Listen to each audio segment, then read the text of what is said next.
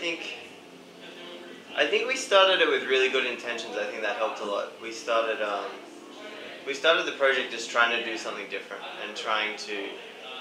At the time, there was a lot of people sort of mimicking whatever act was big at the time, and maybe not being super innovative. It was the start of the whole blog culture, so if you sort of piggybacked off something, you could you could just tail along and, and get somewhere with it. And we kind of wanted to go in the other direction and try and make something that wasn't there yet, or make something that played off uh, some really amazing things that we'd heard in Europe and and things like that. So uh, yeah, I think that's what really helped was starting from a good place and with you know just trying to do something different and interesting, and that I think has helped a lot.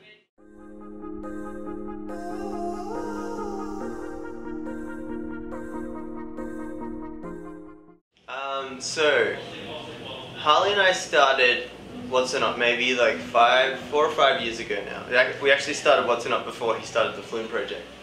Um, and I was a DJ at the time around Australia, and he was a bedroom producer, and we sort of got together and, and came up with the idea of making this project. Um, and everything has changed and evolved, and as as the project's developed and things have popped off. I remember when Harley put out the first Flume album. That was when you know one of the first instances where there was this big shift. He suddenly had to go overseas and wasn't able to write as much for either the Flume project or the What So Not projects. He was traveling so much. Um, so we sort of had to adapt and change as things developed, and it was all quite, you know, exciting and positive. Um, essentially now me and Harley send each other tracks and stems online, and we, we kind of remix each other's ideas until we find a common ground, and then when we're in the same country, we jump in a studio and we sort of put it all together and finish things off. And it's it's why it takes a long time sometimes for What So Not to put out new music because it is hard to find those that time together in the same country. Um, but it also means we have a lot of time to sort of reflect on the songs and sit on them and, and, and look at them often with a new perspective. Um, so I think it definitely helps to get a greater result for the songs and for the project, even if it does take a bit more time. In terms of touring as well, I mean Harley's Harley's only ever done I think one tour with What So Not, and it, it's kind of just impossible to tour together with him touring for the Flume project and all the writing requirements that we each have. Uh, you know, him for his Flume project and him helping me with the What So Not project.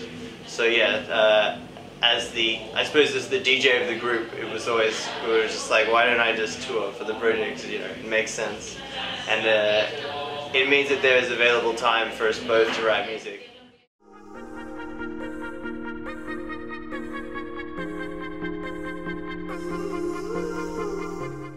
Uh, it was pretty amazing. I only met Sonny. um, I met Sonny at the start of this year, and we really hit it off. I think the the first day we hung out, we like went to the the after party for this show. It was like in the dressing room. They had just had turntables set up in there, and we just went back to back DJing for like three hours or something, just drinking. It was on New Year's Eve. It was amazing. Um, and yeah, we, we got along great. Uh, we hung out on Holy Ship like a few weeks later, and then um, and then yeah, he was like, "Do you guys want to? Do you want to come on tour with me? Do you want to come on the Mothership tour?" Um, and it was such a big break for us, and it was so cool doing that. Um, you know, hitting all these markets we wouldn't probably never have had access to that early on in our careers, and it was it was such a great eye opener for me.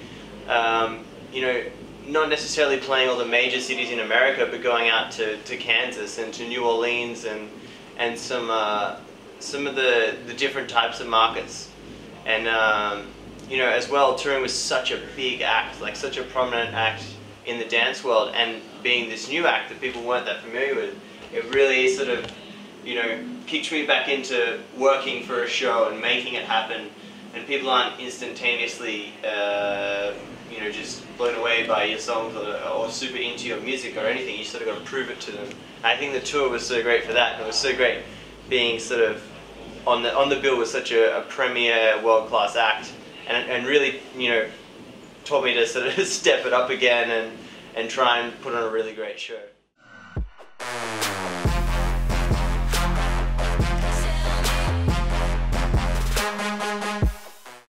I think there was there was a whole lot of it going on. I believe in uh, the early 2000s, Um, I think uh, was it Dirty South Joe? I think it, it might be from Philly, I believe, um, and a few other guys from America that that really started uh, getting into that.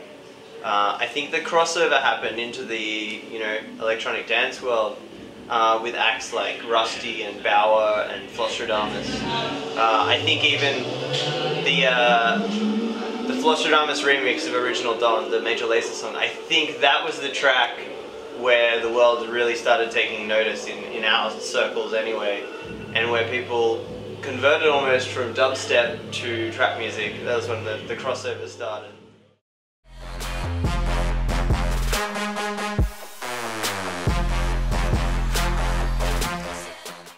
Where, where I grew up in Australia, um, there's this big surge of electronic dance music, maybe in like 2005, 2006.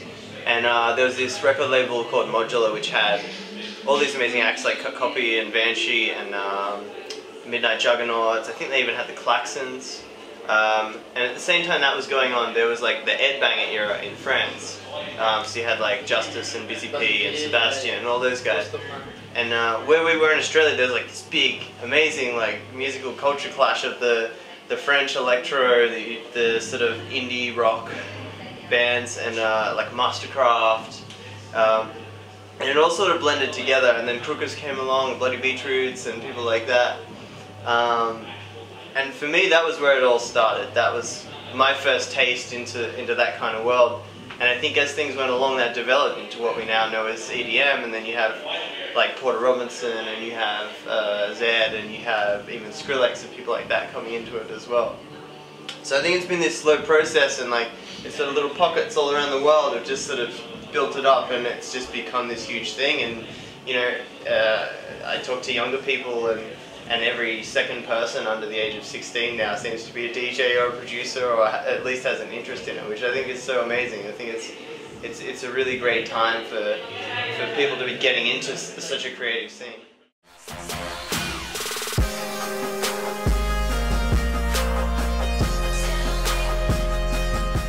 Yeah, I have. Um, I even heard just before that it doesn't really get going here until 3 a.m., which is so crazy for me because they've just brought in these new laws in Australia. They don't let you in venues past 3 a.m.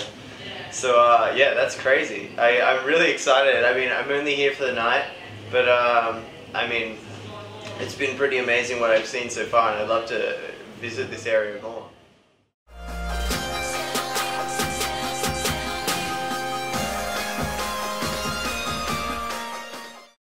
Um, I guess it depends how they're doing it. Um, I mean, they're doing it in an interesting, incredible way, of course, that sounds amazing. Um, when I was younger, I was playing techno and I was playing house. Like when I first started going clubbing when I was 18, uh, all the clubs we go to would be like this deep, dark, minimal tech, and uh, and all kinds of things like that. So um, I think it's perfectly fine, uh, and it's it's often exciting when people bring um, a wealth of knowledge from one genre into another.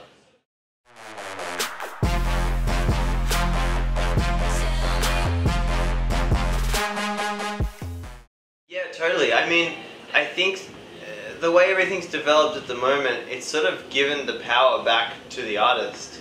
You, you don't need a major label backing you. You don't need uh, to be selling tens of thousands of records. You can just write a song that people like and you put it online through these social media platforms that you build up and it can just go viral. Like I remember we put out uh, that song that we did, Touched. We put that online and it got like number one on Hypem and we ended up with like doubling our Facebook fans in a couple of weeks, and you know it was crazy. And that was just you know a, a song that we wrote in our bedrooms, like, and it just you know, it's it's amazing the the power that it gives back to the artist.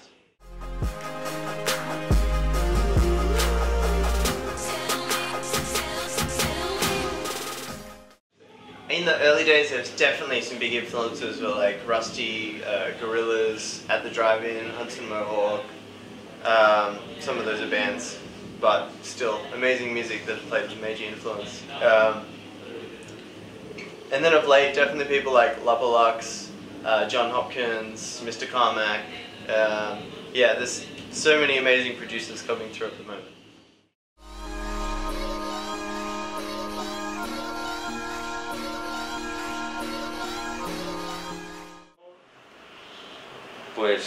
Seguramente escogería What's So Not, seguramente.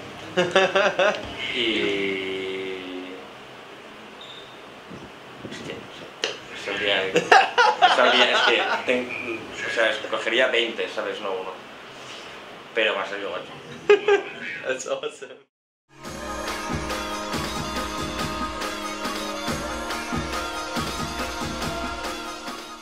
Yeah, we uh, we've been very busy this year. Um, it's it's been probably the craziest year What So Not Project has had in um, in its entirety of existence. Um, we've toured all around America, Canada, first time here in Europe, Asia, back home in Australia, uh, do this European tour and then head back to do Stereosonic in Australia.